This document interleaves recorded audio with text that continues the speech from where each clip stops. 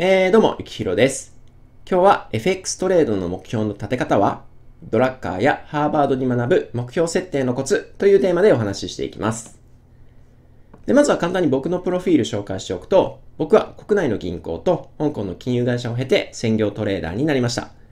で、2007年からもう10年以上トレードを経験しています。で、今日はそんな僕が FX の目標ってどうやって立てるべきなんだろうと疑問に思っている方に対して、ドラッカーやハーバード大学がお勧めしている目標設定のコツっていうのを3つお伝えしていきます。で、これっていうのは FX トレードに限らず人生全般に役立てる内容なので、ぜひ参考にしてみてください。ということで、目標設定のコツ3つ。これ結論を言っちゃうと、この3つですね。まず1つ目が1年未満の短期目標を立てること。で、2つ目がコントロールできる目標にすること。で、3つ目が立てた目標を紙に書き出すこと。この3つです。で、それぞれ説明していくと、まず1年未満の短期目標を立てる。これっていうのは、有名な経営学者であるピーター・ドラッカーが提唱している方法です。ドラッカーさんの著書に、プロフェッショナルの条件っていうものがあるんですけど、この中に目標設定のことが書いてあるんですね。で、その部分を抜粋したのがこれなんですけど、ちょっと読み上げてみます。まず、やろうとしていることを全て書き出すと。で、それぞれに半年後の目標を立てるんですね。で、実際に半年経ったら、目標と結果を比較して、達成できた項目はさらに高い目標を課すと。で、達成できなかった項目については捨ててしまうと。この5段階のことを繰り返すと、自分の得意なこと、まあ、つまり立てた目標を達成できたことっていうのがどんどんどんどん強化されていくんですね。で、その結果として自分の強みを伸ばしていけるっていうことをドラッカーさんは言ってます。で、このやり方の良い点っていうのは半年っていう短いスパンでやることなんですね。これ半年って、まあ普通目標って年単位で立ったりするんですけど、その半分の期間、短いスパンでやることによって、必然的に高すぎない目標になるんですよ。で、しかも気を抜くとすぐに経過しちゃうので、結構怠けてる暇がないんですね。つまり、半年ごとにちょっとした目標っていうのをどんどんどんどんクリアしていくと。で、そうやって小さな成功体験を積み重ねていくことで、自分に自信がつくっていうようなやり方になります。これ例えば、反対に、すんごい高い目標を5年で達成するみたいなのを考えてみると、よくこれありますよね。企業の中長期目標5年でこうしますみたいな。こういうふうにすごい高い目標5年で達成するってやっちゃうと、まあ最初の方とか、まだ5年もあるから大丈夫だろうみたいな感じで、サボりがちになっちゃうんですよね。で、期限が近づくにつれて、高い目標っていうのが辛くなってきて、諦めてしまうと。で、最終的に、ああ、俺は目標が達成できないダメなやつだとネガティブになるっていう負のループに陥っちゃいます。で、僕は実際どうしてるかというと、僕はまあ、これを参考に半年の目標を立ててるんですけれども、この目標をさらに1ヶ月ごとの小目標っていうのに分解してます。どういうことかというと、例えば、半年間で躊躇なく損切りできるようになるっていう目標を立てたとすると、じゃあ最初の1ヶ月目は、損切りの失敗を3回以内に抑えようと。まあ、3回までだったら、ちょっと損切り失敗してもいいかなと。で、これが達成できたら、じゃあ次2ヶ月目は、じゃあ3回以内に抑えるっていうのを今度は2回以内に抑えてみようとか。で、さらに1ヶ月経つと、じゃあそれを1回に抑えてみようとか。で、そういう風にしていって、最後半年後に躊躇なく損切りができるようになるっていう目標を達成するっていう風にやってます。やっぱり小さく分解していくことで、まあ、ハードルが低くなりますし、で、まあ短いので、パンパンパンと目標達成できて、で自分のやる気にもつながるっていう風に。なので僕はすごいこのやり方好きですね。ということで、ここまでが、えー1年未満の短期目標を立てるっていうことです。次2つ目、コントロールできる目標にする。これっていうのは、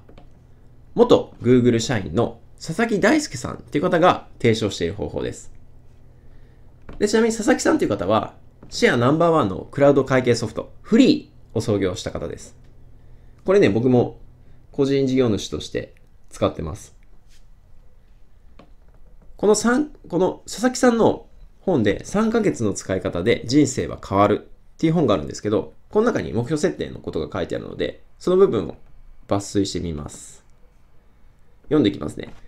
目標設定の肝は自分でコントロールできるゴールを持つことであると。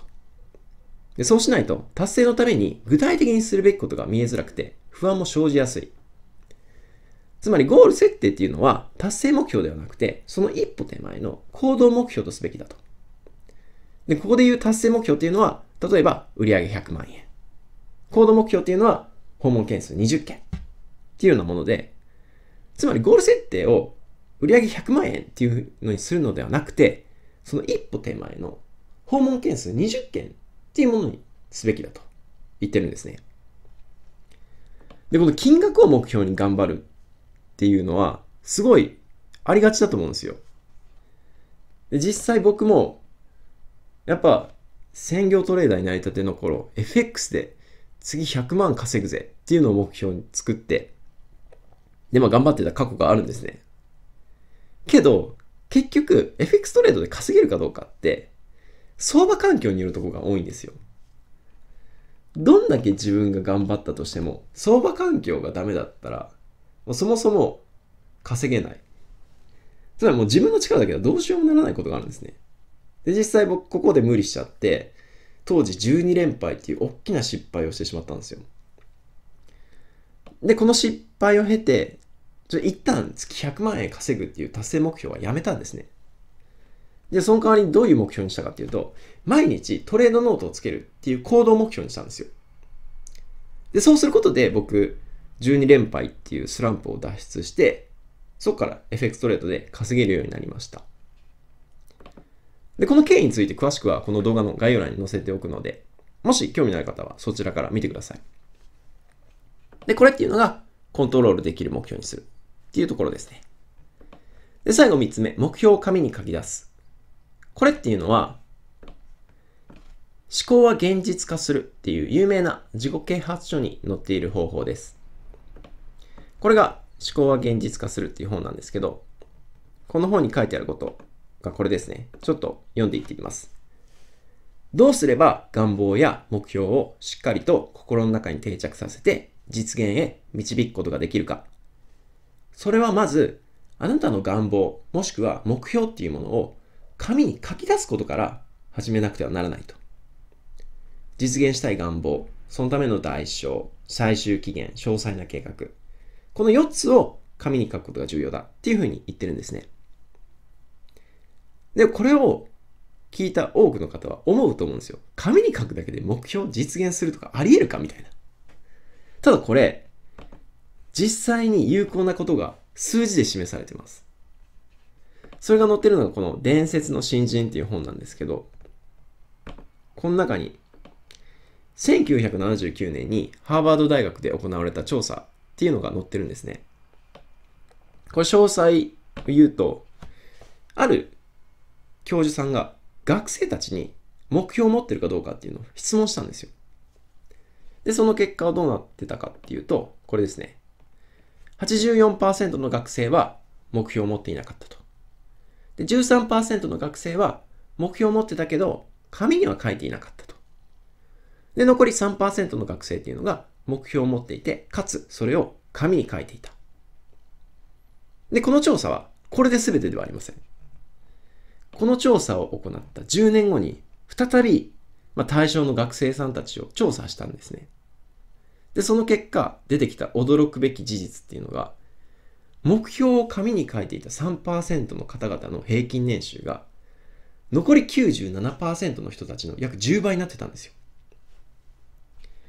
この調査からわかることって、まあ、たった3%の人しか目標を書くっていう具体的な行動まで落とし込めないっていうことと、まあ、残りの97%、つまり大部分の方ですね。もう大部分の人は何も考えてないか、目標を持ってたとしても、ただそれを空想するだけ。で、これをこの調査を信じて、じゃあ実際に紙に書くか、書かないか、これはもうあなた次第です。ただ僕が思うに、目標を達成したいって心から願ってる人は、少しでも可能性のあることは、絶対やるはずなんですよ。もし、もう本当に自分のこの目標を達成したいんだっていう方がいれば、紙に書いたら実現する可能性高いらしいぞって聞いたら、眉唾でもとりあえずやってみるじゃないですか。で、多分そういう人が目標を達成していくんだろうと思います。これで目標設定のコツ3つ全部ですね。ちなみに今日紹介した本はすべてこの動画の概要欄にリンクを貼っておくので、まあ、詳しく読んでみたいという方はそちらから見てください。ということで、最後、まとめです。目標を設定するときは、まず1年未満の短いスパンで立てましょ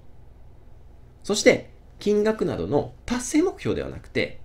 自分でコントロールできる行動目標っていうのを作ってください。